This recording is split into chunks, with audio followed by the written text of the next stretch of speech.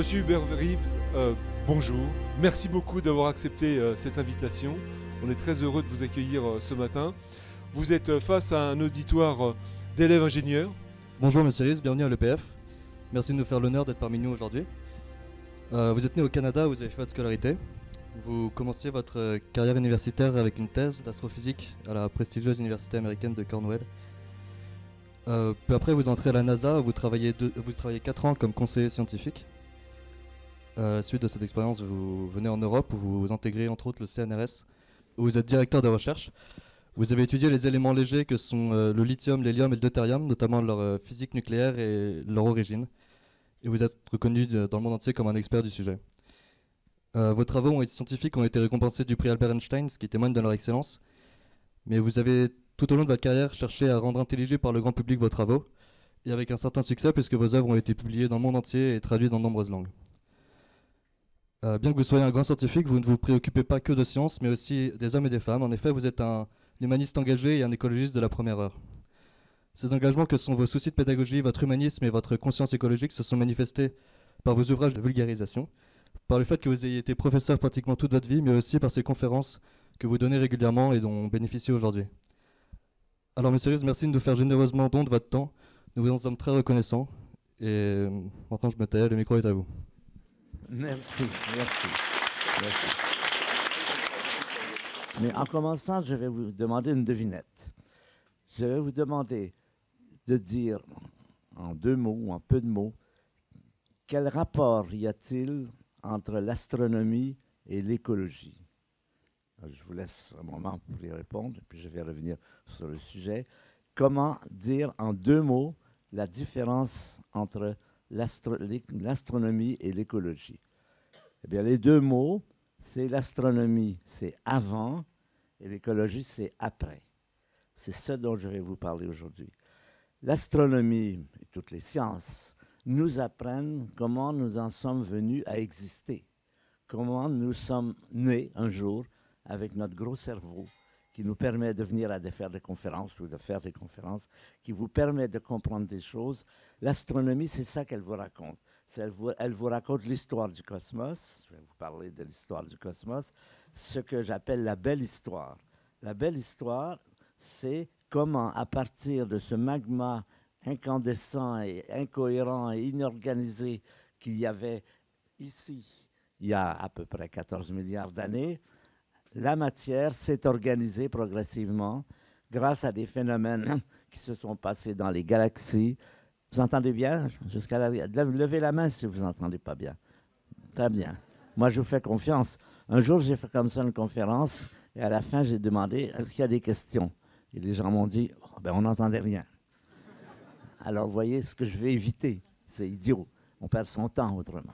Donc, je reviens l'astronomie, c'est comment, au travers de ces phénomènes que la science contemporaine nous montre maintenant et qu'elle nous révèle continuellement, des phénomènes qui se passent dans les étoiles, dans les galaxies, dans les planètes, tout cela, c'est responsable du fait que cette matière inorganisée des premiers temps, aujourd'hui, se retrouve dans notre tête, se retrouve sous forme de synapses, de neurones qui nous permettent de comprendre, qui nous comprennent de dire des choses. Ça, c'est ce que nous raconte l'astronomie. Qu'est-ce que nous raconte l'écologie? Ben, Elle dit, attention, là où vous en êtes aujourd'hui, avec votre comportement saccageur, vous risquez que cette belle histoire se termine mal. C'est-à-dire, vous risquez que l'humanité disparaisse, ou du moins se trouve dans des conditions de vie tellement invivables que vraiment on ne peut plus faire progresser la connaissance, par exemple. Donc ça, en deux mots, c'est ça. Et c'est ce que dit et c'est ce que je vais vous présenter. C'est un poète allemand du début du 19e siècle qui s'appelle Dietrich Holderlein et qui écrivait ces mots Là où croit le péril, c'est vrai qu'il y a du péril, vous le savez, le péril croit, croit aussi ce qui sauve, ça on le sait moins. Ça, c'est l'aspect intéressant, c'est qu'il a, au travers de tous ces problèmes dans lesquels nous sommes aujourd'hui, il y a des éléments qui croissent rapidement et qui montrent qu'il y a un avenir possible qui sera différent, mais qui, est possible et qui sera vivable si on s'y met. C'est toute la question. Aujourd'hui, doivent se prendre des décisions qui vont influencer l'avenir de l'humanité pendant des siècles. est-ce qu'elles vont se prendre? C'est ça qui est tout le problème. Alors, je vais maintenant vous commencer par vous raconter la belle histoire. C'est bien d'avoir des belles histoires. Des fois, on a tellement de moins belles histoires. La belle histoire, je vais vous raconter l'histoire sous forme de deux histoires. Pas une, vous allez en avoir deux. Deux histoires. La belle histoire et la moins belle histoire. Bon, il faut être réaliste, il faut voir ce qu'il y a. Il faut essayer, si on veut gérer une situation, il faut la connaître. Donc, il faut être lucide et réaliste. La belle histoire, elle commence il y a 14 milliards d'années. Comment connaissons-nous cette histoire? Ça ne fait pas très longtemps qu'on la connaît. Pendant longtemps, les humains, depuis Aristote, ont vécu dans l'idée que l'univers existe depuis toujours, qu'il existera toujours et qu'il ne se passe rien, du moins au, niveau des, galaxies et des étoiles.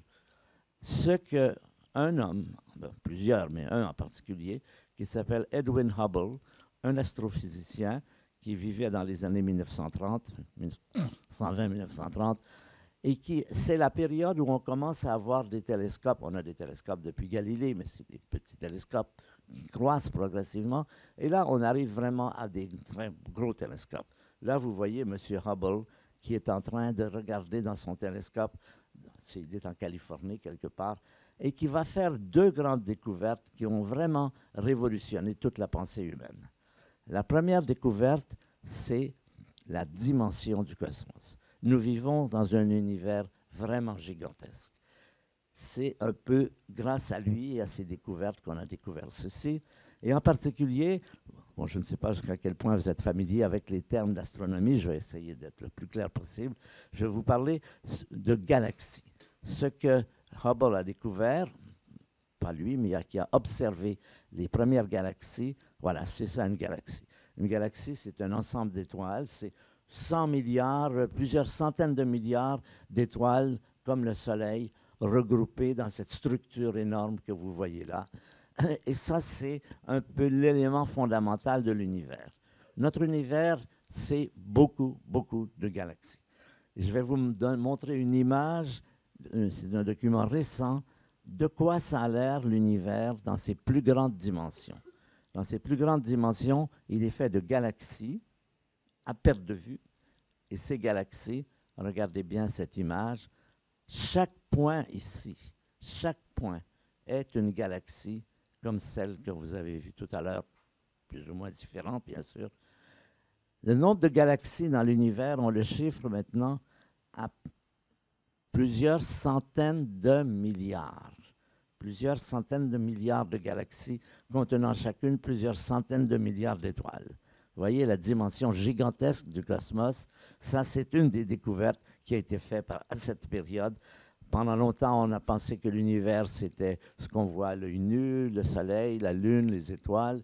Et puis tout d'un coup, on se trouve dans cet univers gigantesque. Et ça, c'est important de le savoir, de connaître un peu quel est notre habitat, c'est là. Nous vivons sur une galaxie, la Voie lactée, près du Soleil, etc. Ça, c'est la première découverte de Hubble. La deuxième, qui est encore plus importante, c'est que M. Hubble, qu'est-ce qu'il fait avec son télescope? Eh bien, Il fait ce qu'il peut. Et qu'est-ce qu'il peut faire? Eh Il peut mesurer les distances des étoiles, des galaxies, pardon. alors, les distances gigantesques. On va parler en années-lumière. Une année-lumière, c'est le trajet que fait la lumière en un an, c'est 15 milliards de kilomètres. L'univers, les galaxies les plus lointaines sont à 10 milliards d'années-lumière. Pour vous donner une idée des dimensions en chiffres, évidemment, c'est inimaginable, mais bien sûr, mais on peut le concevoir. Alors, qu'est-ce qu'il fait? Bon, il mesure les galaxies. Il y en a des proches, il y en a des loin. Puis une autre chose qu'il peut faire, c'est mesurer leur vitesse. Un petit peu comme les flics sur l'autoroute, vous savez, quand ils vous pensent à, mesurer votre vitesse par l'effet Doppler, c'est le même principe. On analyse la lumière et on peut savoir si l'objet s'approche et s'éloigne. C'est là qu'il va trouver un résultat extrêmement stupéfiant, tellement stupéfiant que lui-même n'y croira pas c'est ces étudiants qui vont le rassurer en disant non, non, c'est bien, vous n'avez pas fait d'erreur parce que lui, reste sceptique, c'est trop extraordinaire. Bon, il s'attend à quoi? Il s'attend à voir des galaxies qui s'approchent, qui s'éloignent de façon un peu aléatoire. C'est pas ça qu'il va trouver. Il va trouver qu'il y a un mouvement organisé des galaxies à l'échelle du cosmos. Ce mouvement organisé, c'est que toutes les galaxies s'éloignent de la nôtre et s'éloignent d'autant plus vite qu'elles sont plus loin. J'ai présenté un petit diagramme pour illustrer ceci. Voilà, j'ai mis l'œil de M. Hubble ici. Chaque petit point est une galaxie. Les flèches, leur vitesse. Petite flèche, petite vitesse. Grande flèche, grande vitesse. Vous voyez, c'est un mouvement organisé qu'on va appeler l'expansion de l'univers. L'univers est en expansion, ce qui veut dire que dans le passé, ces galaxies étaient plus rapprochées et à l'avenir, elles seront plus loin. Donc l'univers est en expansion. Alors le fait que je l'ai mis au centre n'en concluait pas que nous sommes le centre. Toute personne sur n'importe quelle galaxie verrait exactement la même chose. C'est cet univers en expansion. Et cela a amené cette autre conclusion extrêmement importante qui va influencer toute la pensée humaine, c'est que l'univers a une histoire. Vous le voyez, le passé est différent du présent, différent du futur. Donc il y a quelque chose qui se déroule comme de la nature d'une histoire. Et la tâche des astrophysiciens et des physiciens, ça va être quoi? Ça va être de reconstituer cette histoire. Ça, c'est ce à quoi nous, avons cette maintenant conviction qu'il y a une histoire du cosmos qu'il faut reconstituer et comment peut-on la reconstituer? Eh bien, nous avons deux éléments, deux auxiliaires précieux. D'abord, nous pouvons regarder l'univers tel qu'il est aujourd'hui grâce à l'astronomie. Donc, on fait des télescopes de plus en plus puissants, des radiotélescopes, on envoie des télescopes dans l'espace, toutes les longueurs d'onde, l'ultraviolet, l'infrarouge, etc., tout cela. Mais nous avons aussi une autre auxiliaire qui est important, qui est la physique. Pourquoi? Parce que la physique nous apprend quelles sont les lois qui contrôlent la matière. Donc si nous voulons comprendre l'histoire de l'univers, nous avons intérêt, à, la fois à avoir des observations sur l'univers, mais aussi sur les lois qui le contrôlent pour le reconstituer. Et ça, ça se fait avec la physique et en particulier avec, par exemple, le grand accélérateur du CERN à Genève, avec lequel on a découvert le boson le boson de Higgs, vous en avez entendu parler sans doute. Et si vous voulez avoir une idée de la mesure de cet instrument, vous avez ici un physicien. Vous voyez, ça, c'est un, immense tube qui fait 27 km de circonférence, qui est en dessous de la ville de Genève et qui vient faire un tour en France, qui est à 100 mètres de profondeur. Et c'est aujourd'hui l'accélérateur le plus puissant pour découvrir les lois de la physique et ces lois de la physique sont précisément ces éléments essentiels pour comprendre ce qui s'est passé. Et alors là arrive un autre élément, mais alors tout à fait, c'est tout à fait imprévu, c'est une bonté de la nature. La nature peut être magnanime par, le moment pour les pauvres physiciens qui essaient de comprendre. Elle peut leur donner des indications comme ça qui vont les aider. C'est quelque chose qui se passe en 1965. Vous n'étiez pas né, mais vous n'étiez pas loin. 1965, c'est ce qu'on appelle le rayonnement fossile. Qu'est-ce que c'est le rayonnement fossile? C'est une image de ce qui était l'univers il n'y a pas tout à fait au Big Bang, donc pas tout à fait à 14 milliards d'années, mais même pas un million d'années après. Donc un document de toute importance, si vous voulez faire une histoire, raconter une histoire, si vous avez un document du début et un document de maintenant, ben, évidemment, c'est beaucoup plus facile d'essayer de reconstituer ce qui s'est passé entre les deux. Alors, le rayonnement facile, je vais vous le montrer. C'est encore une fois une image de ce que vous auriez vu si vous aviez été présent à cette époque en regardant le ciel. Et ça, ça a été obtenu par hasard parce que ça a été obtenu par la NASA à une période, en 1965, où on commençait à lancer des satellites. C'est le temps des, premiers Sputnik et tout ça. La NASA et les, Russes faisaient grande compétition à qui est-ce qui avait les plus beaux satellites. Mais le problème, c'est que les satellites, quand on les lançait dans l'espace, on perdait le contact. Dès qu'ils ils avaient dépassé l'horizon, on n'arrivait plus à les suivre.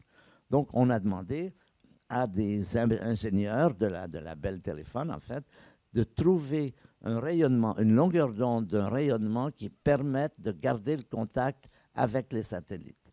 Alors voilà deux physiciens qui sont ici présents, Wilson et Penzias, qui ont eu le prix Nobel, avec cet instrument assez primitif. Ils ont trouvé une bonne longueur d'onde qui permet de garder le contact. Et on garde le contact avec les satellites tout autour de la planète maintenant. ça n'est plus un problème. Là où il y a un problème, c'est que ça marche bien, mais ça marche trop bien. Ça marche même quand il n'y a pas de satellite. Continuellement, on entend un petit susurrement, bruissement, comme quand vous êtes sur votre poste de radio, vous êtes à côté de, l'émission, de la bonne longueur d'onde. Et qu'est-ce que c'est? Alors on se dit, on cherche un peu partout. Est-ce que c'est un tel qui est en train de se raser dans, à l'étage en bas avec son rasoir électrique? Non, c'est pas ça. Est-ce que c'est les militaires à Washington qui ont des armes secrètes? On sait pas ça. Ça dure jour et nuit. Ça dure pendant pendant un, an. Ça dure tout le temps. Mais après un an, ça n'a pas bougé. C'est comme un bruit de fond tout à fait constant. Et on découvre, alors là, je ne vais pas vous donner les raisonnements par lesquels on, arrive à ça, parce qu'on sera encore là demain matin. On arrive à cette conclusion que ce que nous entendons là, c'est une émission d'ondes radio, évidemment, puisque c'est avec une antenne radar qu'ils l'ont découvert, d'ondes radio, mais qui ne vient pas d'une étoile, qui ne vient pas du soleil, qui, ne vient pas qui, est la même partout dans toutes les directions. Quand on change le télescope de place, c'est pareil tout le temps. C'est un rayonnement qui est partout dans l'univers, qu'on va appeler le rayonnement fossile. Et ces rayonnements, là aussi, sans vous donner les preuves, on peut montrer très clairement qu'il a été émis il y a à peu près 14 milliards d'années. C'est comme un document gratuit, comme la bonne mère nature qui dit Je vais vous aider, vous essayez de comprendre, je vais vous donner un coup de main. Je vais vous montrer ce document, bien sûr.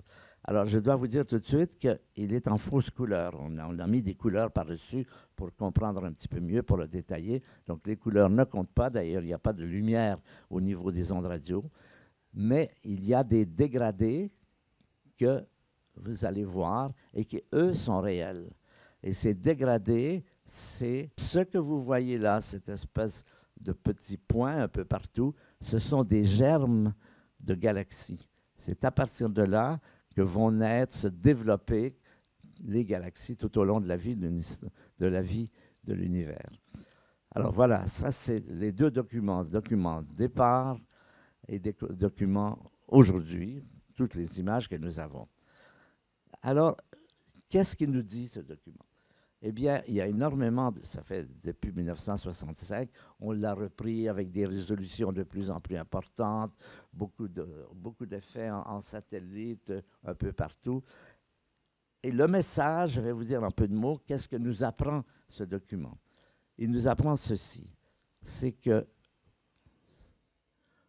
l'univers le plus ancien est sans structure il n'y a dans cet univers à cette période ni galaxie, ni étoile, ni planète, ni être vivant, bien sûr, même pas de molécules, même pas d'atomes, même pas de protons et de neutrons. Il y a quoi? Il y a un magma incandescent porté à des températures de milliards de degrés est composé de ce que nous appelons des particules élémentaires, qui sont les électrons, les protons, les neutrons, non pas les protons les neutrons, mais leurs constituants, les quarks. Les particules qui sont là présentes, les photons de la lumière, vous le voyez, c'est lumineux, et aussi des électrons, nos électrons, et les quarks qui composent les protons et les neutrons. Donc ça nous donne une image des tout premiers temps du cosmos un magma incandescent, incandescent de particules élémentaires portées à des milliards de degrés. Et alors maintenant, on va essayer de comparer cet état avec son état présent. Son état présent, vous le savez, c'est totalement différent. Aujourd'hui, nous avons un univers très richement organisé. À toutes les échelles, nous avons des structures. Nous avons aux plus grandes structures des galaxies, ensuite, à des, dimensions plus petites, des étoiles, des planètes, des satellites, des comètes. Sur la Terre, plus de 10 millions d'espèces vivantes, animaux ou, végétaux, et à des dimensions plus petites encore, d'abord les molécules géantes, l'ADN, les molécules plus petites, l'eau, le gaz carbonique, l'ammoniac, le méthane, plus petits encore les atomes, le carbone, l'azote, l'oxygène, encore plus petits les noyaux des atomes, composés de protons et de neutrons, encore plus petits les quarks.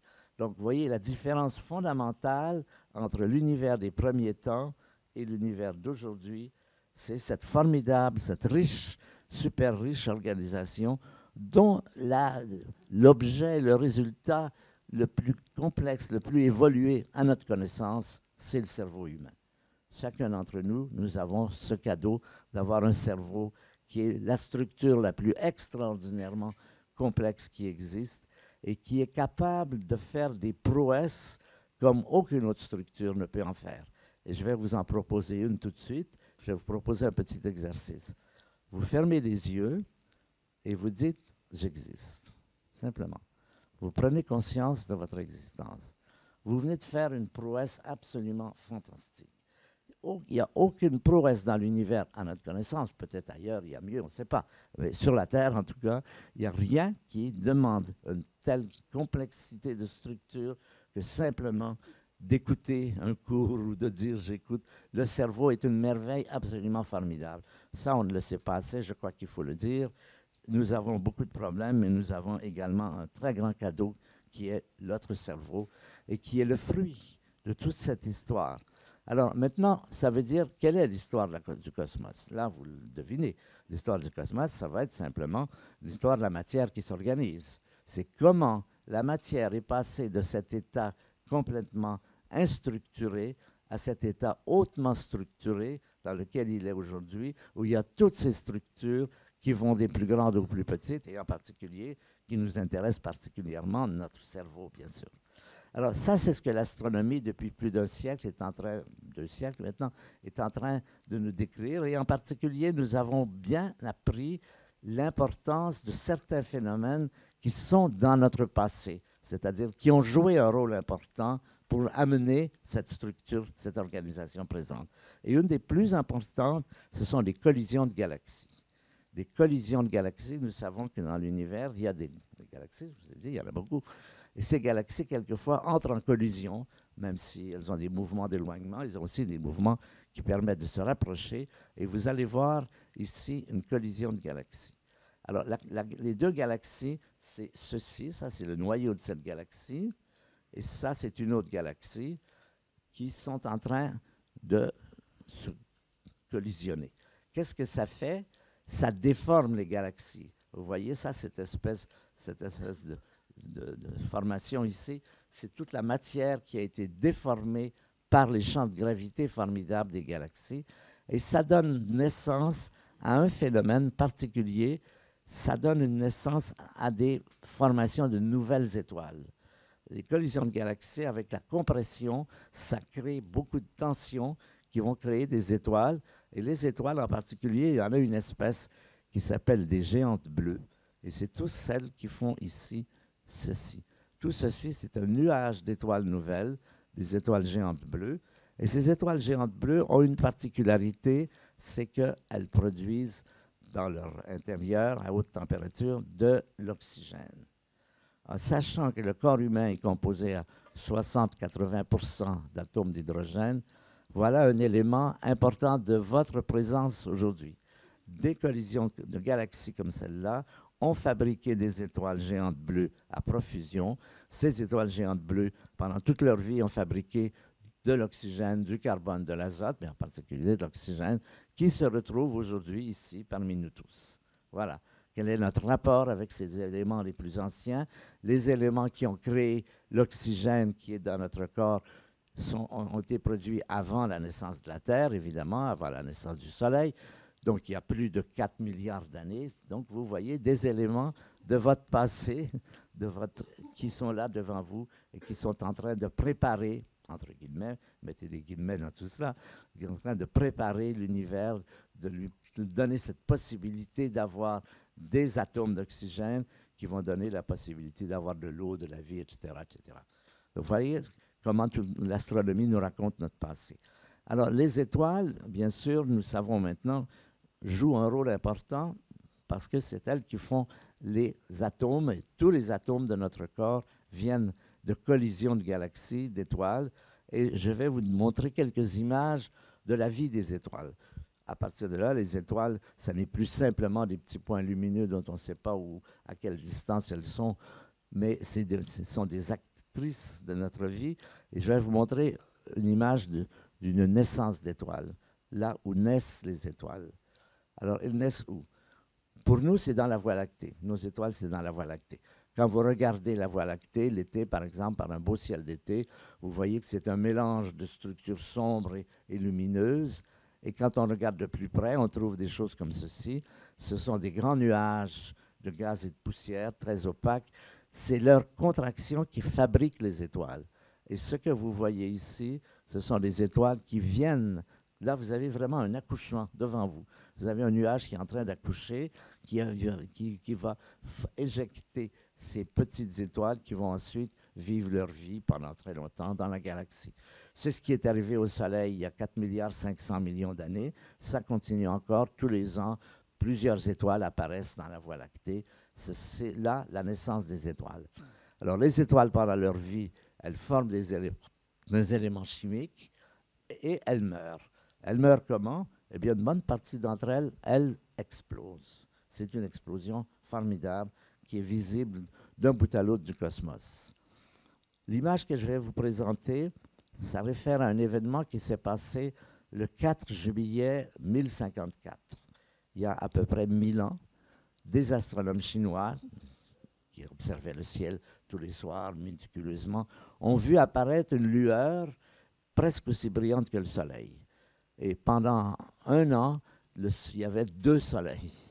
Puis cette, cette nouvelle astre, si on peut dire, a pâli progressivement et disparu. Après, on ne le voyait que la nuit, puis après, on ne le voyait plus du tout. Mais comme c'était des gens très minutieux, ils nous ont laissé des cartes du ciel. Ils nous ont montré où dans le ciel, par rapport aux autres étoiles, c'était dans la constellation du taureau, à cet endroit, ils ont dit, voilà, c'est là qu'on a vu cet objet.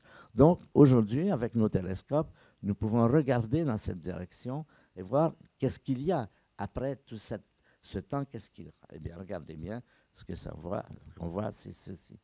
Ça, c'est les débris d'une étoile qui a explosé le matin du 4 juillet 1054. C'est une image typique du moment où une étoile, ayant fabriqué des éléments chimiques toute sa vie, les rejette dans l'espace, les remet en circulation, si vous voulez, et des générations d'étoiles vont se succéder et vont augmenter progressivement. Pour les astronomes, les couleurs, c'est la signature des atomes. Comment nous savons quels sont les atomes qui sont là? Chaque couleur nous dit exactement quel est l'élément chimique qui a produit cette couleur. Par exemple, le rouge ici, c'est de l'azote et de l'hydrogène. Le vert, c'est de l'oxygène.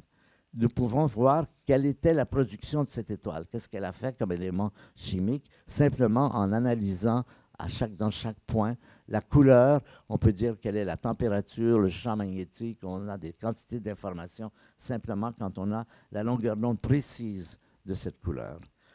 Et donc, à partir de là, les étoiles dispersent leurs, atomes dans l'espace, qui se recombinent pour faire, vous voyez, c'est une histoire un peu cyclique.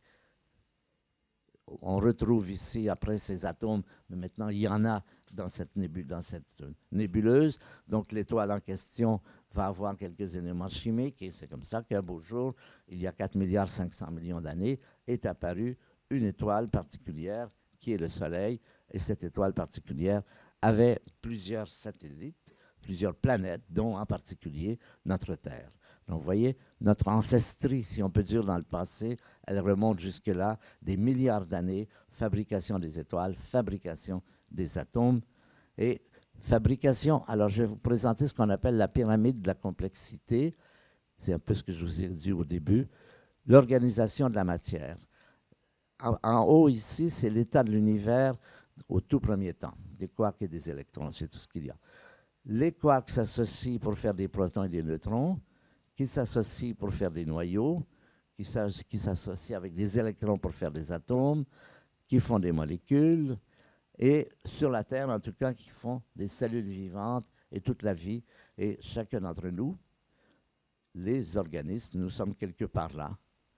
Et là, vous avez toute la pyramide que raconte l'histoire de l'univers. Et maintenant, on a une chronologie, on a des dates, on peut dire à quel moment ça s'est produit. Il reste encore beaucoup d'éléments à comprendre, bien sûr, mais dans les grandes lignes, on comprend assez bien.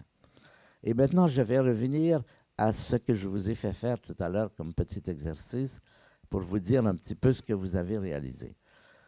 Donc, nous avons notre cerveau qui est fait de quarks et d'électrons. Le corps humain, c'est beaucoup de quarks et d'électrons. En, peu de mots, c'est à peu près, mais ça dépend de votre poids, c'est à peu près 1 avec 29 zéros. 10 puissance 29 zéros. Nous sommes faits de 10 puissance 29 zéros quarks et électrons. Tous ces quarks et ces électrons que vous touchez, que vous douchez quand vous prenez votre douche, ils existaient déjà dans le cosmos il y a 14 milliards d'années, mais dans un état complètement différent. Complètement différent, ils étaient totalement dissociés. Les particules flottaient dans l'espace comme ça, euh, se cognaient les unes sur les autres, comme des particules élémentaires. Et l'histoire du cosmos, c'est comment, au travers d'une quantité d'événements, cette matière a remonté ce qu'on appelle cette pyramide de la complexité. Là, il y a des, rôles des galaxies, des étoiles, des planètes, tout ça, et est arrivé aujourd'hui à ceci. Et quand vous avez fait cette prouesse, vous avez utilisé le fait que 10 puissance 29 électrons et quarks étaient associés d'une façon fantastiquement complexe dans le corps humain. On sait ce que ça prend pour pouvoir réfléchir. Il y a le cœur, il y a la chaleur, il faut se sentir bien. Tout le monde connaît ça. On le sait quand on est malade. Et il faut que tout ça marche bien. Et c'est exactement ce qui s'est passé. Là, vous voyez quelle brouesse fantastique vous avez pu faire quand vous avez simplement pris conscience de votre existence. Donc ça, c'est ce que j'appelle la belle histoire. Maintenant, on va être obligé, évidemment, de passer à une autre histoire que nous appelons la moins belle histoire, mais bon, il faut être réaliste. Cette seconde histoire se passe beaucoup plus tard. Elle commence il y a à peu près 7 millions d'années. C'est à peu près ce qui se passe. C'est ce qui s'est passé il y a 7 millions d'années sur la Terre que nous allons envisager. Là, il se passe quelque chose d'extrêmement mystérieux, dans le sens que nous le constatons, mais nous sommes loin de pouvoir le comprendre. Une espèce animale va recevoir en cadeau, mettez des guillemets, de la nature, comme une bonne fée, vous savez, la belle au bois dormant qui dépose avec ses baguettes des cadeaux à la petite. eh bien, là, cette bonne fée va déposer sur une, une espèce animale un cadeau absolument fantastique, une intelligence, mais supérieure à tout ce qu'il y a dans toutes les autres espèces animales. Vraiment une intelligence, capacité de pensée abstraite formidable qu'on est loin de comprendre. Beaucoup d'anthropologues essayent de comprendre, mais on est loin de le comprendre exactement. La moins belle histoire. Donc, il y a environ 5, 6, 7, c'est pas très clair, mais ce n'est pas 14 milliards, voyez la différence. Un animal acquiert une forme supérieure d'intelligence. C'est qui? C'est lui. Pourquoi lui? Pourquoi un chimpanzé? Personne ne sait. Pourquoi ce n'est pas les dauphins? Pourquoi c'est pas. Il n'y a aucun animal qui nous approche au point de vue de la capacité, et c'est bien là que vont apparaître les problèmes, évidemment.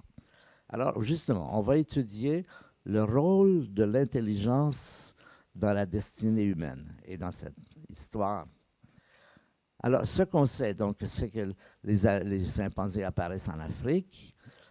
Les chimpanzés sont très mal armés, nos ancêtres, pour se défendre, parce qu'à cette période, la vie est difficile la nature est hostile, il y a les bêtes féroces, il y a tout ça. Et contrairement aux tigres, ils n'ont pas des grandes dents, contrairement aux tortues, ils n'ont pas de carapace, contrairement aux, guépards, ils ne courent pas vite, ils ne volent pas.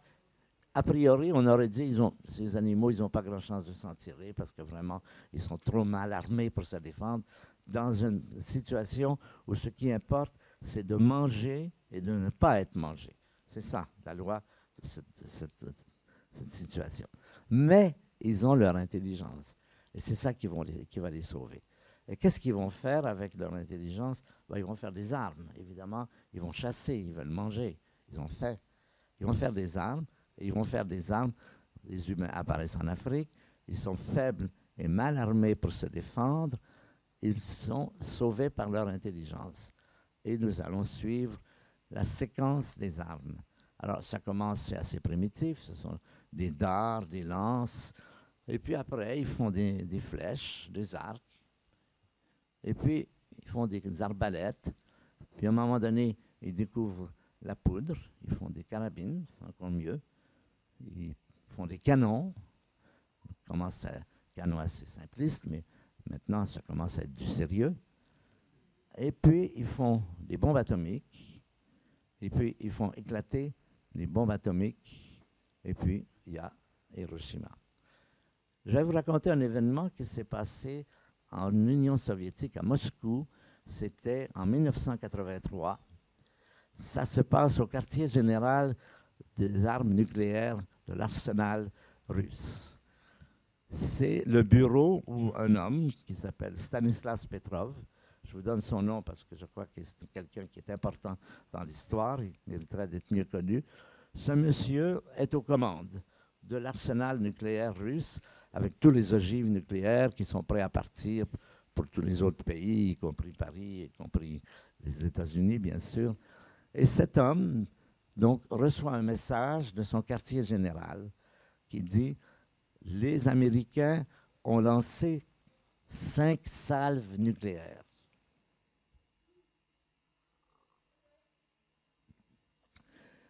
Elles sont ici dans 15 minutes. C'est à vous d'agir. Monsieur Petrov ne fait rien.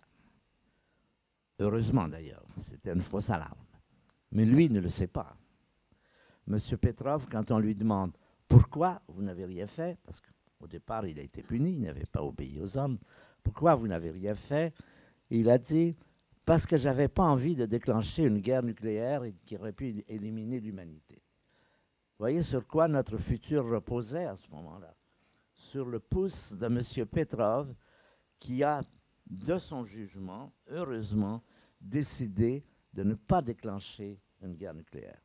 Vous vous rendez compte que s'il l'avait fait, nous ne serions pas ici, vraisemblablement. C'est ça qui est important.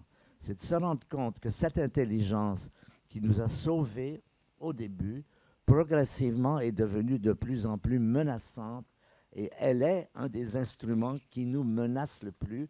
Ce qui nous menace, ce n'est pas les forces de la nature, le, froid, le chaud, les bêtes féroces, il y a longtemps que ce n'est plus des problèmes. C'est ce que nous avons fabriqué nous-mêmes grâce à notre formidable intelligence. Le rôle de l'intelligence, vous le voyez ici aujourd'hui, c'est il devient quelque chose qui peut nous éliminer, qui a bien failli nous éliminer ce jour-là, octobre 1983. C'est important de réfléchir sur ces choses-là quand elles sont passées. Maintenant, on dit, bon, très bien, très bien. On ne sait pas très bien comment on s'en est tiré de cette guerre, de, ce qu'on appelle la guerre froide aujourd'hui. personne ne sait exactement ce qui s'est passé. Heureusement, on s'en est sorti. Mais il faut se souvenir que nous sommes menacés précisément par nos propres œuvres. Et comme dit la SNCF, un train peut en cacher un autre. Il n'y a pas que le nucléaire qui nous menace, il y a aussi tous nos instruments techniques, notre capacité de saccager notre planète, de, réchauffer, de la réchauffer, d'acidifier l'océan, de polluer. Nous sommes extraordinairement puissants et cela nous amène à ce que nous appelons la crise écologique contemporaine, qui justement est ce dont on va parler maintenant. Alors, en peu de mots, nous sommes tellement fort que notre, influence est à l'échelle de la planète.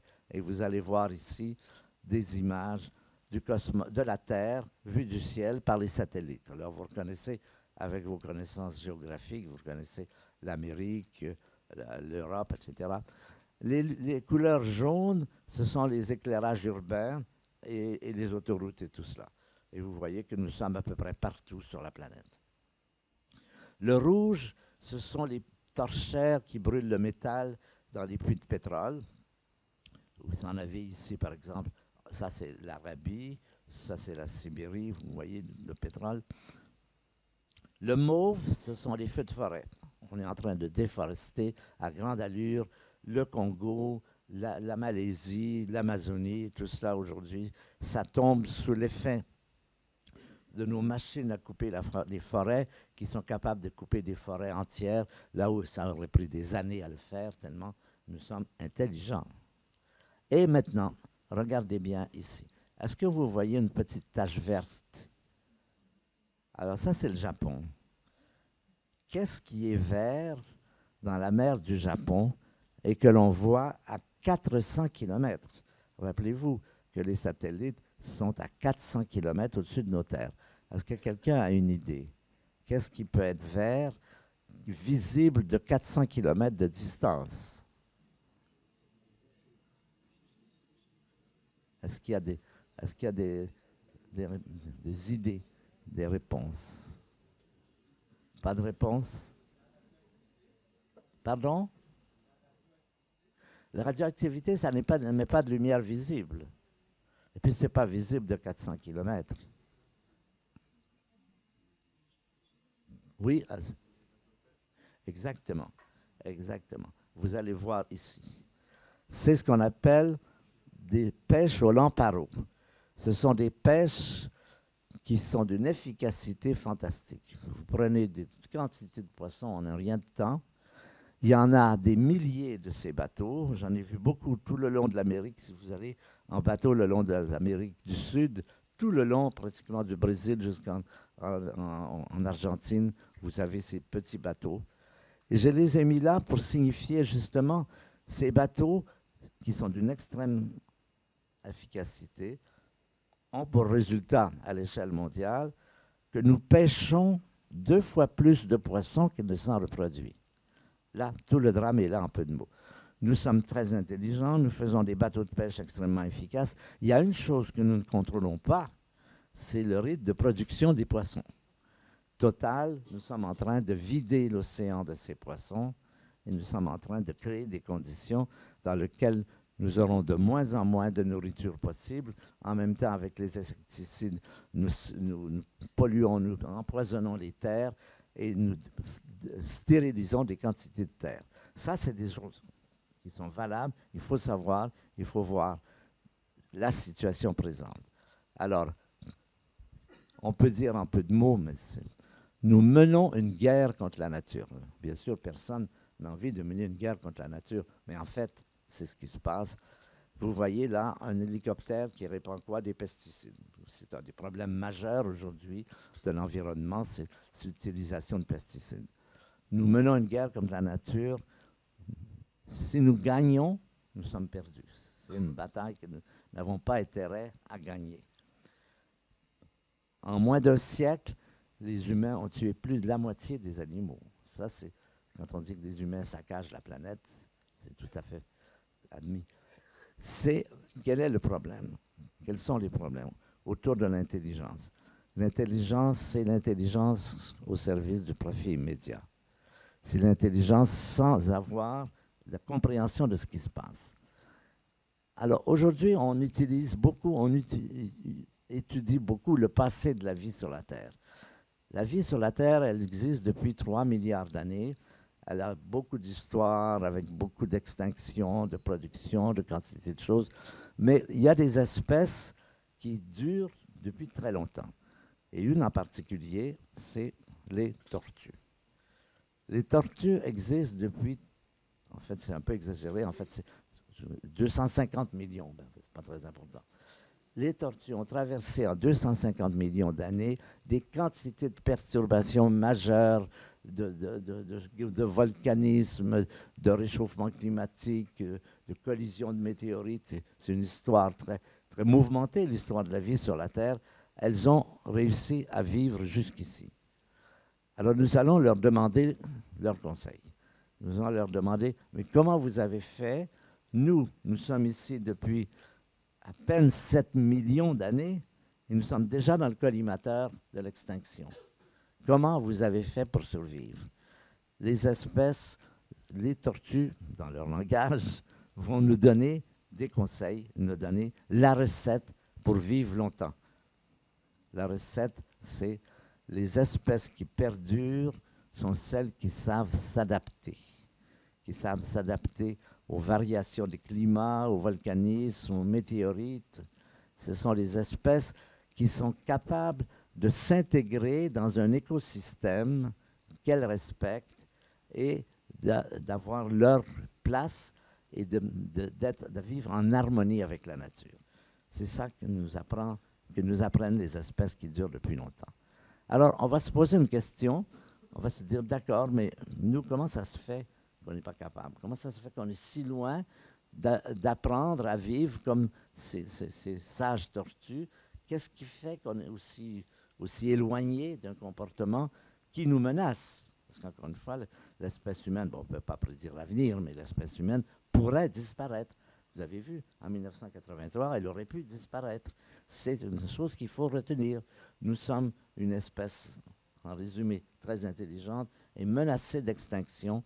Alors, la question, c'est, l'intelligence est-elle un cadeau empoisonné? Est-ce qu'il n'aurait pas mieux valu naître des tortues? Hein? Est-ce que c'était une bonne idée de la nature de nous donner avec son bâton l'intelligence?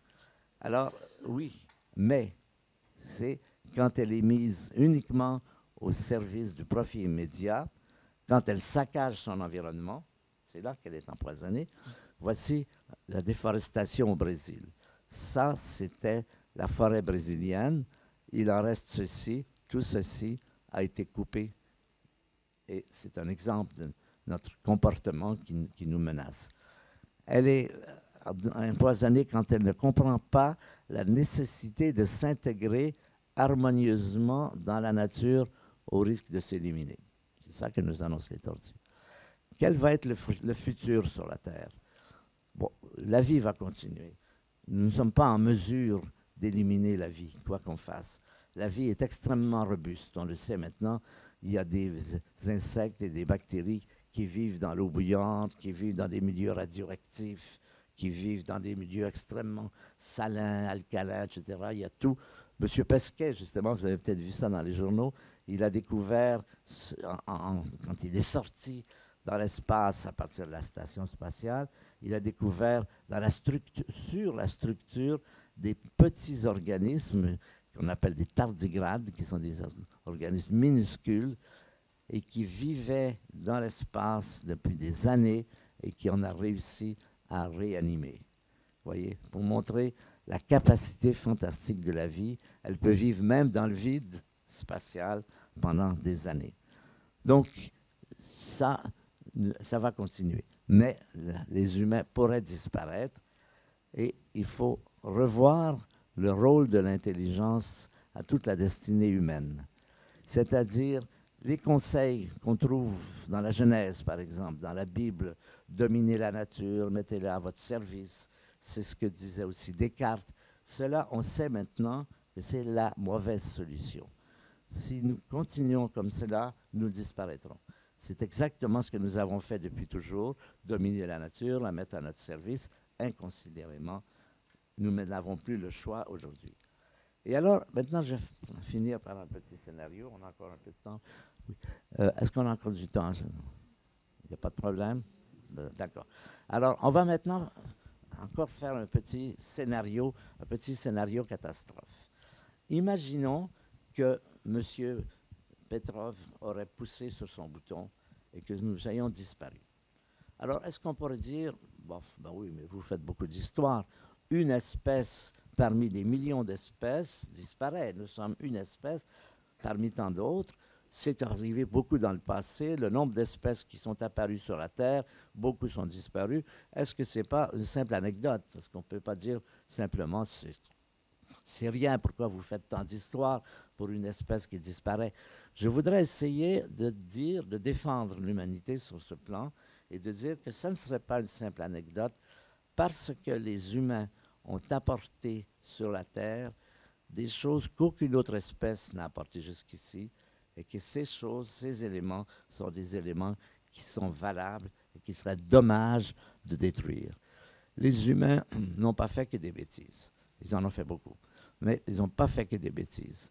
Et je vais vous nommer trois éléments qui sont, encore une fois, uniques à nous, que personne d'autre n'a pu faire et qui disparaîtraient. La vie continuerait, mais ces choses-là, qui sont valables, disparaîtraient. Alors le premier, c'est l'art, c'est la culture, c'est la jeune fille à la perle, c'est Mozart, Beethoven, Bach, tous vos musiciens favoris. Vous imaginez bien que les termites n'épargneraient pas les Stradivarius si nous n'étions plus là. Donc, premier élément, l'art, la culture. Deuxième élément, voilà, les termites, voilà.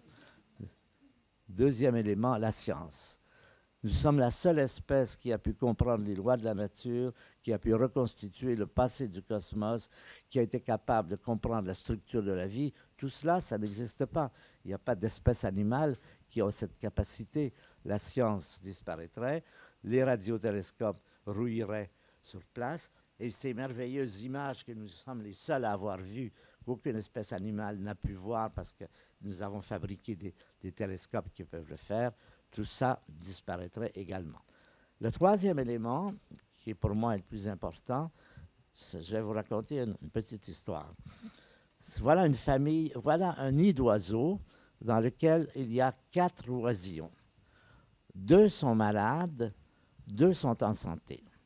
Les parents nourrissent les oisillons en santé et laissent mourir les oisillons malades. C'est ce que nous racontent les observateurs. Pourquoi? Parce que les oisillons en santé ont plus de chances d'avoir des gènes sains en santé que les malades.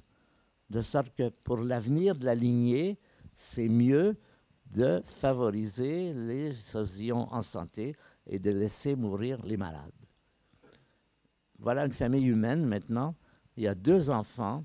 Il y en a un qui est en santé, l'autre est malade les parents nourrissent, s'occupent généralement plus de l'enfant malade que de l'enfant en santé. Pourquoi? C'est pas logique. Ce qu'on appelle la logistique des gènes, ça consiste à nourrir seulement les animaux ou les êtres vivants qui ont des gènes en bonne santé. Pour la poursuite de la lignée, c'est mieux. Ça n'est pas le cas chez les humains. Les humains ont un comportement différent des oiseaux et ce comportement différent. Les oiseaux ne nourrissent que les oisillons en santé et les humains s'occupent aussi des faibles et des malades et même des animaux malades. Qu'est-ce qui s'est passé dans l'évolution pour qu'il y ait cette différence entre les deux? Il s'est passé ceci, qu'est apparu quelque chose, un sentiment qu'on appelle la compassion. La compassion, c'est le fait que nous souffrons de voir les autres souffrir. Il y a chez les êtres humains un sentiment qui, quand ils voient quelqu'un souffrir, a envie de l'aider. Les lions s'occupent aussi des gazelles malades, mais ce n'est pas pour les aider. Nous, c'est ce sentiment qui est né progressivement et qui a donné naissance à quoi? À la Croix-Rouge, à Amnesty International, à la médecine, à tout ça, tout ce comportement humain universel aujourd'hui c'est cet humain, dit, humain de, comportement de compassion. Et c'est la troisième valeur, je pense. On en retrouve quelques exemples chez des animaux, chez des dauphins ou chez, chez, des singes. Il y a des gestes altruistes qu'on on, raconte autour de ces animaux, mais jamais ça a été organisé. Ça n'a jamais été organisé comme la, la Croix-Rouge ou l'Amnesty International ou autre. Donc voilà trois éléments qui font, je pense, que ça vaut la peine de défendre l'humanité et d'essayer de la préserver et d'empêcher qu'elle s'élimine elle-même. Alors maintenant, je vais vous passer à un autre chapitre, qui est le suivant, qui s'appelle le réveil vert. Qu'est-ce que c'est le réveil vert? Depuis déjà des millénaires, il y a des gens qui déplorent le comportement des humains. Pythagore, c'est pas récent, écrit des choses contre les gens qui sont cruels avec les animaux, mais tout ça, ça reste au niveau individuel. La première fois, je pense, on ne connaît pas tout, mais la première fois qu'il y a des gens qui vont plus loin, qui organisent l'aide à la, nature, qui essaient de s'opposer au saccage de la nature, c'est en Californie dans les années 1880-90. C'est le début des grands parcs animaliers. C'est le parc de Yellowstone, de Yosemite. En parenthèse, si vous allez aux États-Unis, ne manquez pas de voir ces parcs. C'est absolument fabuleux. C'est le moment où des gens vont demander et obtenir des législations. Par exemple, il y a un, homme qui a aussi un rôle important qui s'appelle John Muir, un des, plus importants, est allé à Washington. Il a obtenu des lois pour préserver la nature. Il a organisé des clubs de protection de la nature, le Sierra Club, qui est le club le plus important. Et puis, euh, historiquement, ça vient un peu partout. C'est ce qu'on appelle le réveil vert. C'est le moment où l'humanité se dit, prend conscience de la situation, et non seulement prend conscience, mais organise la défense, organise la protection de la nature. Et ça donne lieu, en particulier, John Muir, dont je vous ai parlé. UICN, c'est une organisation pour la protection de la nature, France Nature Environnement et Humanité Biodiversité, qui est un mouvement dont j'ai été longtemps le président et qui est celui dans lequel je travaille aujourd'hui. Alors, je vais vous montrer, donc, M. John Muir, c'est aussi un héros de l'humanité. Je pense qu'on devrait les, célébrer plus, les gens comme M. Petrov ou, ou M. Muir, qui ont joué des rôles importants dans cette histoire de ce qu'on appelle le réveil vert, la préservation de la nature.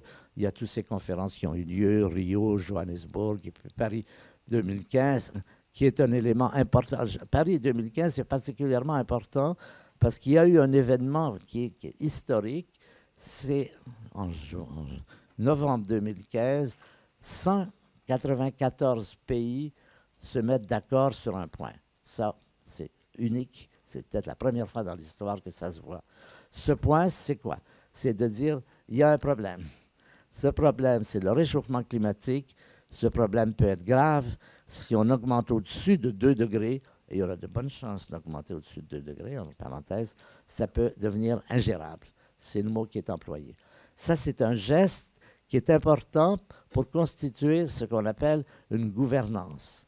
Une gouvernance, c'est quelque chose qui est à l'échelle mondiale, qui n'est pas dictatorial, c'est pas l'Empire romain, c'est pas Staline, c'est pas la dictature, ça doit être euh, démocratique et participatif, dans lequel les humains s'entendent pour résoudre un problème. Aussi longtemps que chaque pays a son opinion, il n'y a pas beaucoup d'espoir de voir les problèmes se résoudre. Donc ça, c'est un événement important. Je crois que c'est bien de le mentionner. Donc voilà, en résumé, je vous ai raconté deux histoires. La belle histoire, ce qui correspond au passé, j'ai parlé d'astronomie, et la moins belle histoire qui correspond à l'avenir, l'écologie, les problèmes qui se posent à nous et les efforts qui vont être essentiels si on veut s'en tirer. Je crois qu'il y a beaucoup de forces aujourd'hui qui sont impliquées dans la restauration. En résumé, je dirais, la situation présente, c'est que nous sommes face à deux forces, deux puissantes qui prennent toutes les deux de la puissance et qui sont en conflit. Et alors ces deux forces, c'est une force de détérioration. On continue à se déforester, on continue à, répandre des, des, pesticides, on continue à couper la forêt, oui, et, etc.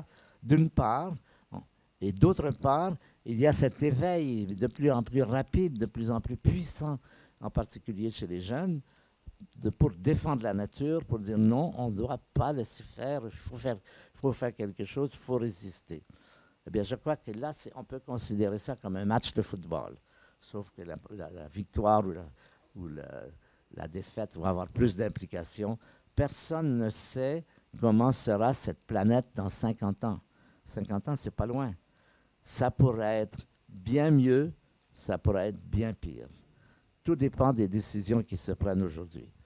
C'est pour ça que je pense qu'il faut considérer, et ce que je trouve un peu lamentable, c'est l'absence de ces thèmes d'écologie dans la campagne électorale de ces jours-ci, c'est comme si ça comptait pas. Bien sûr, il y a d'autres problèmes. La sécurité, le chômage, c'est des problèmes. Mais celui-là, si on n'a pas l'écologie, l'économie s'effondre. C'est évident maintenant que c'est quelque chose de vital pour l'avenir de l'humanité et pas très loin dans l'avenir les décennies qui viennent vont être d'une grande importance. Voilà. Merci.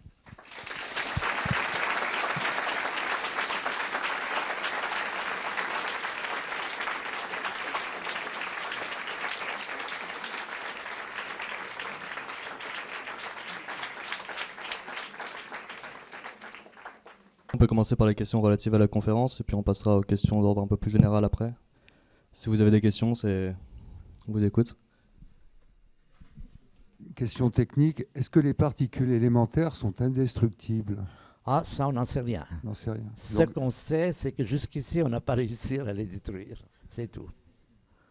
Peut-être dans quelques années, on apprendra qu'elles sont elles-mêmes composées de structures, mais ce n'est pas impossible. Sur ce plan, c'est question, pas de réponse pour l'instant. Est-ce qu'elles sont euh, subdivisables encore? C'est ça, c'est ça la question. La question, est-ce que les particules élémentaires sont vraiment élémentaires, comme des points par exemple, ou quelque chose qui n'a pas de structure interne? C'est ce qu'on a cru, vous savez, le mot atome, c'est simplement ça. Le mot atome, ça veut dire atomos en grec, ça veut dire qu'on ne peut pas couper. Pendant longtemps, on a vécu dans l'idée qu'on ne pouvait pas couper les atomes. Puis quand on a fait les accélérateurs, on les a coupés, on a montré que c'était fait d'électrons et de protons.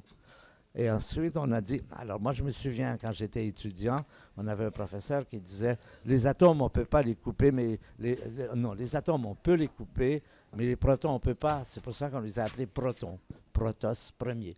Et il, nous avait dit, eh bien moi je suis, c'était un homme très riche, je suis prêt à parier la moitié de ma fortune qu'on ne coupera jamais les protons. Ben, nous, en étudiants, on était un peu timides, on n'a pas osé le prendre au mot, on aurait dû. On serait riche maintenant. Parce qu'un peu plus tard, on a coupé les protons, on a montré qu'ils sont faits de quarks. Et maintenant, la question se pose, est-ce qu'on peut couper les quarks? Ben, Ce qu'on sait, c'est qu'il faudra des... Plus on entre à l'intérieur, plus il faut des instruments puissants. Pour casser les atomes, ce n'est pas très difficile. Notre corps en fait, en fait continuellement dans notre respiration, dans notre chimie. Pour casser les noyaux des atomes, c'est beaucoup plus difficile. Pour casser les protons, ça a été, il faut avoir des énergies fantastiques. Il est vraisemblable que pour avoir, pour casser les quarks, si ils sont cassables, il faudra encore plus d'énergie. Et ça, pour l'instant, ce n'est pas possible avec les accélérateurs présents, mais peut-être qu'à l'avenir, on fera plus puissant que celui du CERN, qui est maintenant le plus puissant dans le monde, 14 trillions d'électronvolts mais c'est l'avenir aussi.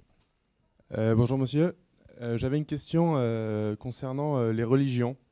Vous qui avez passé beaucoup de temps donc, à travailler sur la science, je voulais savoir quelle était votre position quant aux religions actuelles. Alors, d'abord, je dirais qu'il faut faire une distinction. Il y a deux domaines de la pensée humaine qui sont très différents et qu'il faut bien isoler. Il y a la science. Qu'est-ce que ça vous apprend, la science? Ça vous dit comment ça marche, comment ça fonctionne. Ça, c'est le domaine de la science. il y a un autre domaine qui est le domaine plus philosophique, plus moral, qui est qu'est-ce que ça vaut? Est-ce que c'est bon? Est-ce que c'est pas bon? Par exemple, la science peut vous dire comment faire des bombes atomiques ou des, OGM ou n'importe quoi. Elle est totalement incapable en elle-même de vous dire si c'est une bonne idée d'en faire ou non. Ça, ce n'est pas le domaine de la science. Elle est hors de ces domaines de c'est bon, c'est pas bon, c'est valable, qu'est-ce qu'il y a derrière tout ça, est-ce que la vie a un sens, toutes ces questions qui sont d'ordre philosophique, religieuse ou autre, sont totalement séparées. L'autre domaine, c'est qu'est-ce qui est bon, qu'est-ce qui n'est pas bon, qu'est-ce qu'il faut faire, comment vivre dans un monde difficile où nous avons des difficultés, où nous rencontrons régulièrement des problèmes majeurs que la science ne peut pas résoudre, par exemple. Donc ce domaine-là, qui est le domaine, je dirais, qui était typiquement le domaine des religions dans le passé, mais les religions ont perdu beaucoup de leur, influence. Elles n'ont plus d'influence sur l'humanité qu'elles avaient, disons, au Moyen Âge. Mais les problèmes se reposent quand même. Les problèmes de savoir comment vivre, est-ce qu'il faut s'opposer à, l'avortement, voilà un exemple à laquelle la science ne peut rien dire. Mais c'est des domaines majeurs, euh, euh, religieux, philosophiques, euh, qui sont présents. Galilée avait une très bonne phrase pour séparer les deux domaines, parce que Galilée, comme vous savez, subissait les pressions de l'Église. On lui interdisait de dire que la Terre n'est pas le centre du monde.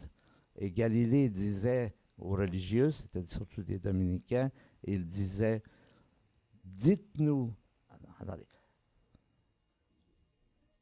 dites-nous comment aller au ciel, typiquement la question religieuse, dites-nous comment aller au ciel, laissez-nous vous dire comment va le ciel.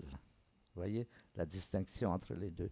C'est ça qu'il faut. Quand on ne fait pas cette distinction, on a les mêmes problèmes que Galilée avait eu à la, Renaissance, que Darwin a eu aussi avec l'évolution. Il y a eu tous les religieux anglais qui étaient contre lui. Il a été méprisé, vilipendé, etc.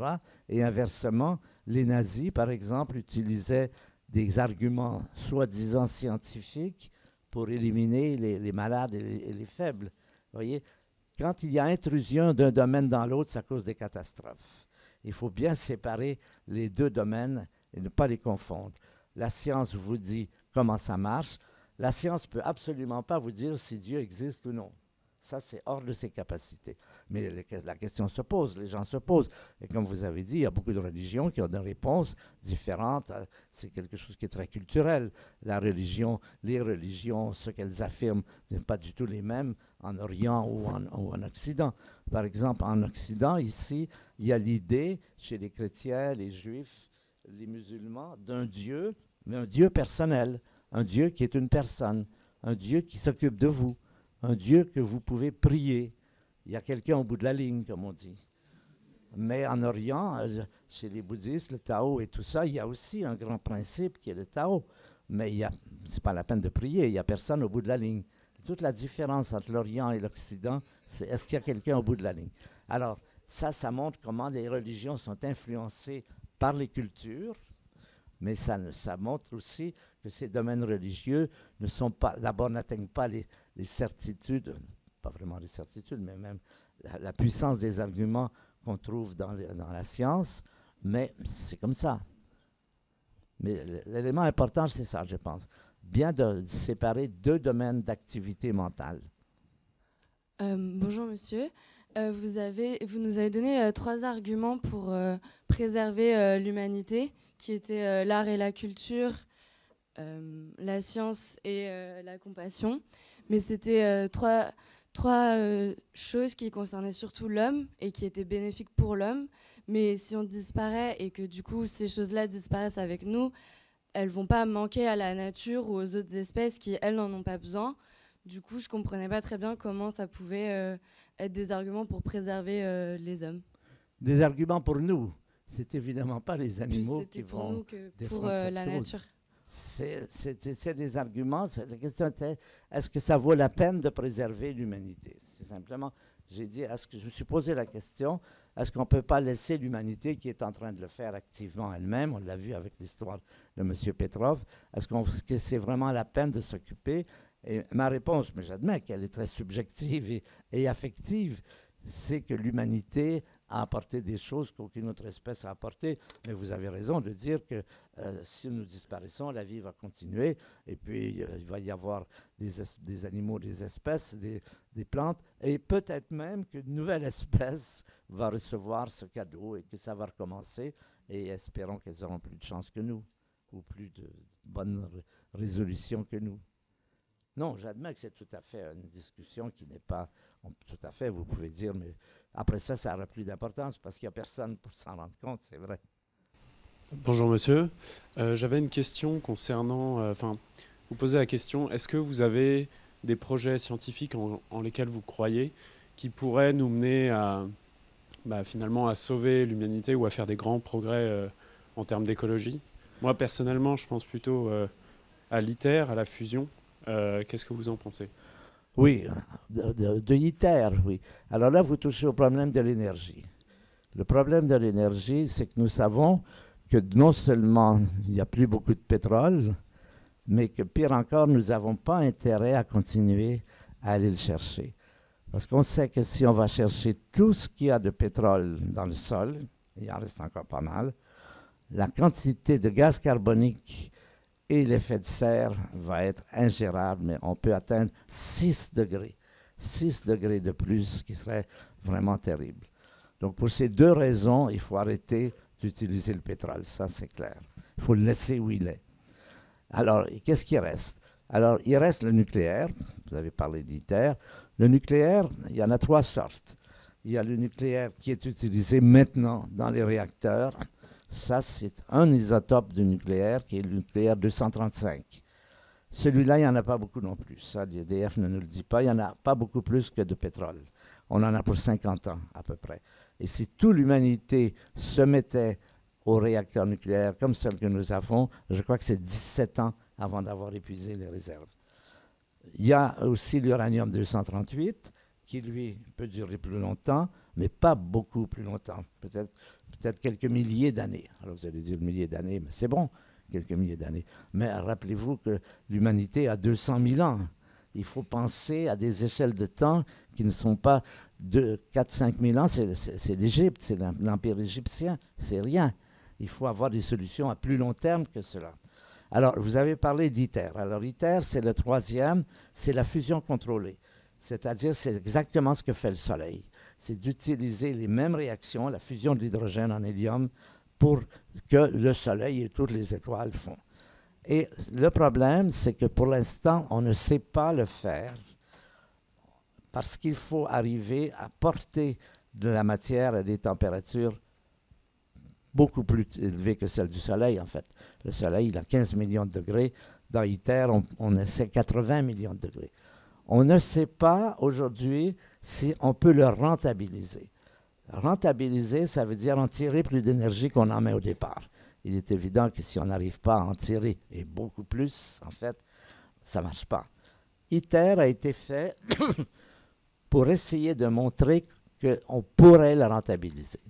C'est très important, effectivement. Si ça marche, c'est quelque chose qui pourrait aider le problème de l'humanité, le problème de l'énergie de l'humanité. Généralement, les gens sont assez sceptiques, mais n'importe. C'est une voie à suivre pour voir si ça va donner quelque chose. Mais ça, c'est qu'un aspect du, sur l'aspect de, la pollution, ITER est également très polluant. ITER produit des matériaux radioactifs plus importants que ceux que nous, utilisons, pour, que nous avons pour l'instant. C'est un problème ouvert et beaucoup de gens ne sont pas d'accord, mais enfin bon, disons que c'est un problème intéressant et, en discussion. Euh, vous avez décrit euh, beaucoup de problèmes euh, sur lesquels on n'a pas vraiment d'impact, donc par exemple la, pêche et la déforestation. Moi, je voulais savoir sur quoi, nous, en tant qu'étudiants français, qu'est-ce qu'on pourrait changer dans la vie de tous les jours pour que ça ait vraiment un impact et que ça fasse accélérer les choses? Et deuxièmement, vous avez dit qu'il y avait une grande avancée dans la conférence de Paris parce qu'il y avait une sorte de consensus mondial. Mais est-ce que vous pensez qu'il peut vraiment y avoir des, décisions qui sont prises? Et est-ce qu'on peut espérer voir une évolution et des décisions prises au niveau supérieur d'ici quelques années? Oui, bah, vous posez la question de l'avenir. L'avenir, d'abord, personne ne le connaît. Il a la mauvaise idée qu'on n'arrive jamais à le prévoir. Chaque fois qu'on fait des prédictions, généralement, toutes les prédictions sont fausses. Après coup, quand on regarde, on s'aperçoit. Il y a eu des prédictions qui ont été faites, par exemple, en 1900. Qu'est-ce que serait l'an 2000 eh bien, quand on regarde ça, on rigole, vraiment. Il n'y a aucun rapport entre ce qui était prévu pour 2000 et ce qui est arrivé. Donc ça, c'est la première chose à dire. Donc, on vit d'espoir. Votre question, c'est de dire, on espère que, il faut faire comme si. Je crois que l'attitude qu'il faut prendre, c'est que si on dit que c'est foutu, c'est foutu. Ça, c'est sûr. À partir du moment où on admet que c'est foutu, c'est foutu. Donc, il faut garder volontairement, volontaristement, la volonté de dire, il y a un avenir, on va le fabriquer. Alors, d'une façon plus pratique, bon, vous êtes une école d'ingénieurs, donc vous allez être impliqué dans des projets variés. Ces projets variés, aujourd'hui, ce qu'on dit, c'est qu'il faut introduire une nouvelle préoccupation, c'est qu'est-ce que ça va donner pour la planète dans 50 ans ou dans quelques décennies. C'est-à-dire des études d'impact. C'est-à-dire, on ne commence pas un projet sans étudier, de savoir ce qu'il va apporter est mieux que toutes les, pertes qu'on aura après coup. L'exemple classique, c'est le barrage d'Assouan. Quand Nasser a fait le barrage d'Assouan en Égypte, c'était pour donner de l'électricité aux, euh, Égyptiens. Ils n'ont pas fait d'études d'impact. Qu'est-ce qui est arrivé? C'est que le, Nil a été régularisée, il n'y a plus eu les inondations et l'eau salée a remonté dans le Nil et aujourd'hui c'est un grand désastre. Dans beaucoup de cas, on s'aperçoit que si on avait prévu au départ, on aurait pu dire mais non, ce n'est pas une bonne idée. Donc cette nouvelle préoccupation qui est la planète. On dit souvent il y a trois, préoccupations quand on fait un projet, les trois P. C'est le profit, bien sûr, il faut que ça rapporte, tout le monde a besoin d'avoir son, salaire à la fin du mois. Le deuxième, c'est l'effet sur les gens. Par exemple, est-ce que ça va créer des pollutions, euh, toutes les, substances chimiques que l'on met aujourd'hui sur le marché et sur lesquelles on discute. Mais le troisième impact qui n'était pas présent il y a quelques années, c'est qu'est-ce que ça va faire à long terme sur la planète, en quel, en quel sens est-ce que ça va continuer à détériorer la planète. Donc c'est ça, pour vous, je pense qu'il est important, c'est la prise de conscience de cette nouvelle préoccupation c'est-à-dire des effets à long terme, des effets à 50 ans, 100 ans ou plus. Alors les cas concrets, ça je ne peux pas le dire parce que je ne les connais pas, c'est vous qui les connaîtrez, mais... Bonjour monsieur. Donc euh, est-ce qu'on ne peut pas considérer que tout comme euh, toutes les lois de la physique qui font que euh, le Soleil fonctionne tel qu'il fonctionne, le cerveau humain fait que l'humain est beaucoup trop individualiste et d'une certaine manière on pourrait, on est tout comme toutes les lois de la physique, on est voué à un tel fonctionnement et que de manière naturelle, on va à ce désastre euh, écologique Alors là, vous, vous, êtes en train justement de faire des prédictions. Je crois qu'on est voué à rien. L'avenir est inconnu, l'avenir est ouvert. C'est ce que nous le ferons. C'est évident que nous sommes dans des difficultés énormes aujourd'hui, mais ce n'est pas sûr que ce soit fatal. Je crois qu'il faut éviter le fatalisme, parce que si on est fataliste, c'est fatal. Vous nous parlez donc de l'impact euh, de l'espèce humaine donc à long terme sur la Terre. Euh, est-ce que vous pensez que la singularité technologique aura lieu? Et à votre avis, est-ce que son impact euh, sera bon ou pas? Il faut se remettre dans un contexte historique. C'est toujours intéressant de se mettre dans un contexte historique pour essayer de voir les situations. Par exemple, je pense, il y a 500 000 ans, les humains ont réussi à maîtriser le feu. Le feu, c'est très bien. Vous pouvez en faire vous chauffer. Vous pouvez aussi mettre le feu à la maison de votre voisin. Donc, les technologies, ce n'est pas, ça n'a aucune qualité morale en soi.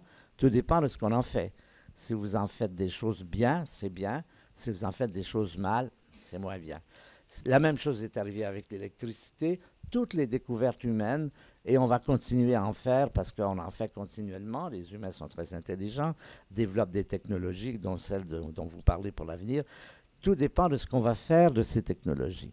Alors, par exemple, je pense qu'un but très utile des technologies, c'est pour les handicapés, pour les gens qui sont aveugles, pour les gens qui sont sourds, pour les gens qui...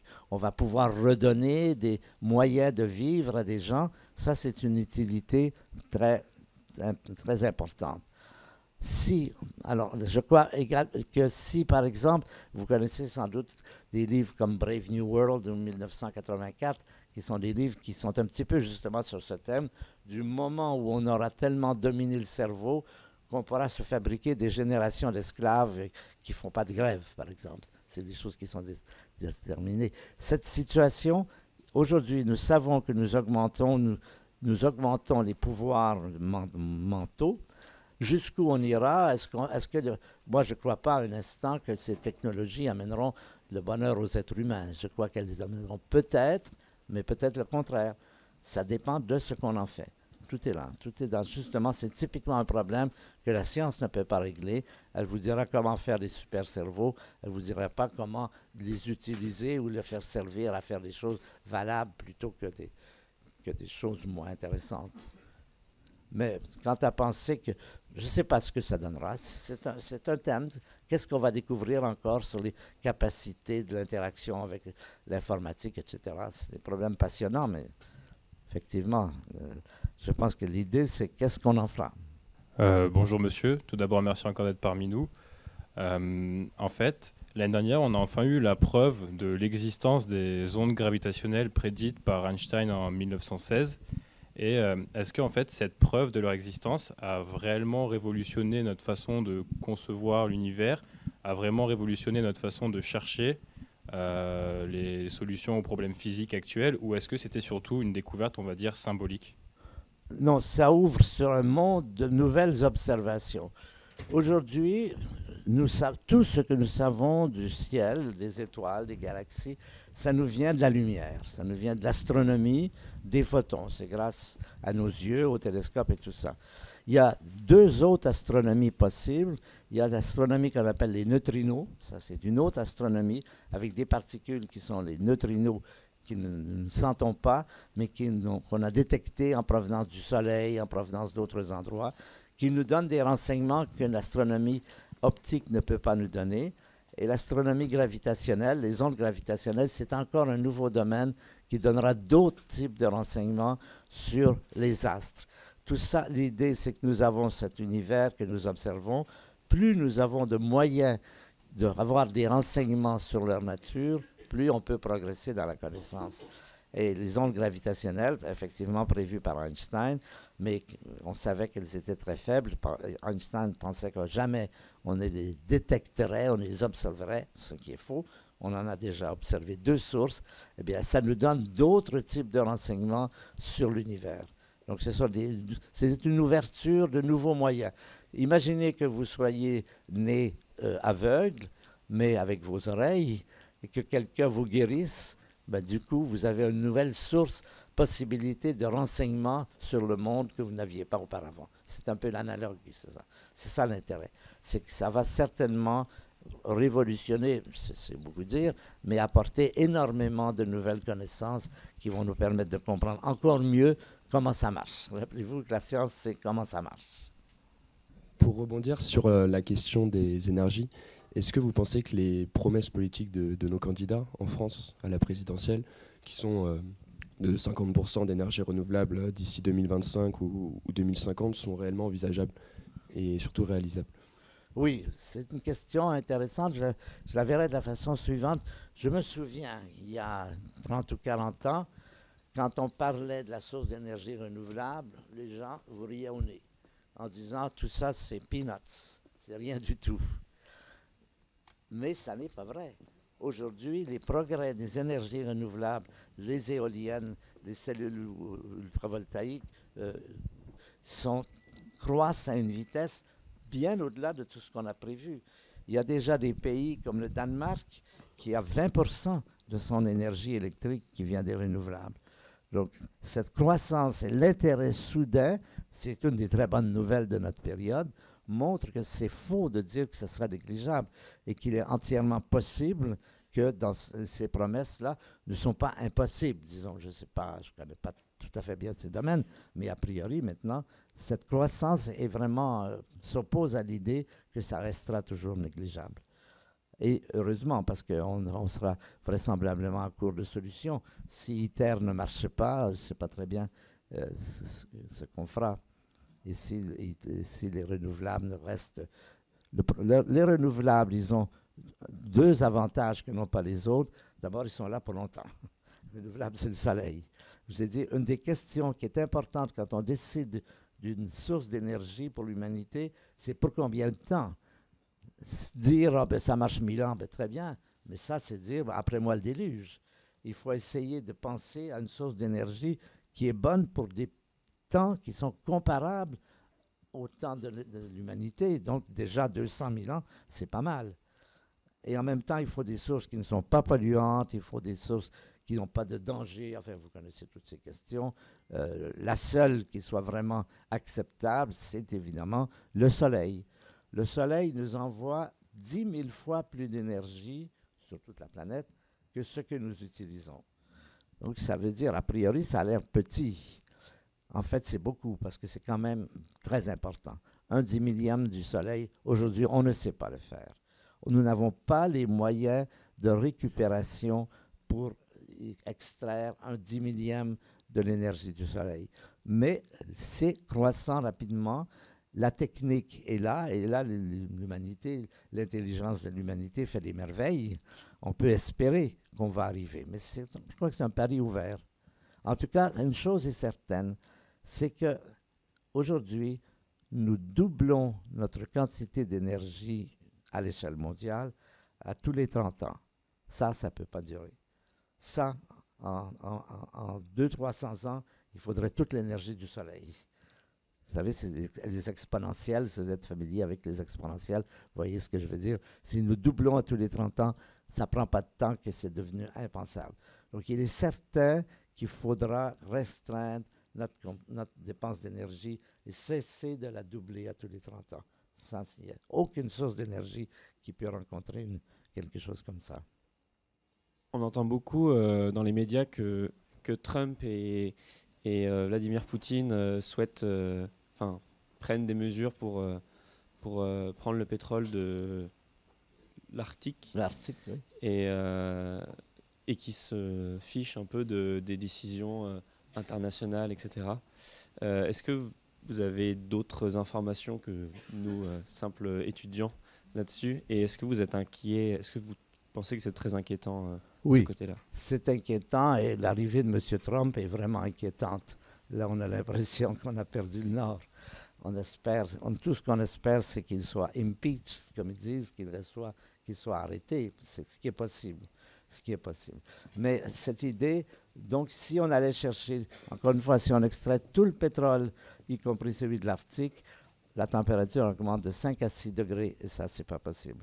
Alors, il y a un autre, un autre pays qui est intéressant aujourd'hui, c'est la Chine. La Chine est, vraiment le seul grand pays qui a compris de façon active le problème de, la pollution et le problème du réchauffement climatique. Vous avez vu que dans les grandes villes, par exemple à, Pékin ou à Shanghai, on ne voit pas au-delà, de, par certaines journées, on ne voit pas au-delà de 10 mètres. La Chine est très, très intéressée, fabrique énormément d'instruments pour les renouvelables et va devenir bientôt, je pense même maintenant, le pays le plus actif vis-à-vis du, réchauffement climatique, vis-à-vis -vis de l'écologie. Et ça, c'est important parce que maintenant que les États-Unis semblent retourner au pétrole, le fait qu'un autre grand pays puissant soit actif dans ce domaine, c'est quelque chose de bien. Euh, merci du silence impeccable qui a régné pendant toute la conférence, du début jusqu'à la fin des questions. Ça témoigne de l'intérêt qu'on lui a apporté. Merci aux gens de l'extérieur qui sont venus. Merci à l'EPF pour son aide technique. Merci.